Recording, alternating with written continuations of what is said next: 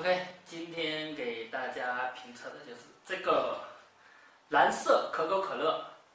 然后我们先看一下外包装啊，蓝色的可口可乐。然后这个应该是一个进口的，印度尼西亚产的，印度尼西亚产的。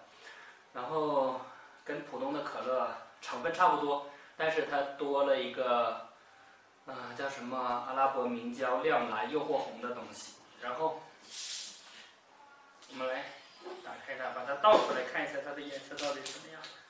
因为可能是瓶子是蓝色的，我们把它倒出来。嗯，可以看一下，倒出来也是蓝色的，证明其实这个整个它就是蓝色的。尝一下。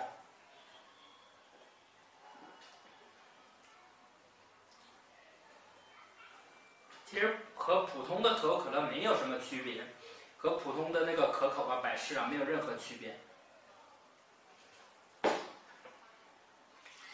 再倒一点，通体蓝色，其实很好看的这个颜色，口感上没有任何区别。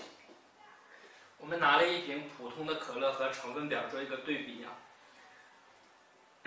就是多了。食用香精、咖啡因、苯甲酸钠、阿拉伯明胶这些东西，剩下其他都是一样的，可能那个东西就是为了让它这个颜色。然后我们来做个霸气的实验，把两种可乐兑在一起，看看会出现什么状况。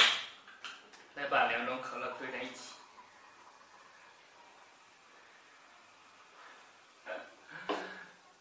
颜色变成黑，其实是墨绿色变成了翠绿色，可以看一下，变成了翠绿色。然后尝一下，说实话，兑在一起不是特别好喝，不过颜色真的很好看，是翠绿色。然后可乐这个东西呢，尽量不要喝太多，偶尔喝一下就行了。然后今天的评测就到这里，下次我们来找一找那个鹰。